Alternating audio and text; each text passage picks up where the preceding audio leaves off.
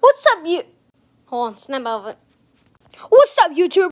Okay, I'm gonna show you how to watch my mom. She's making this video, and I'm in his side of my, his stomach, and let's get into it.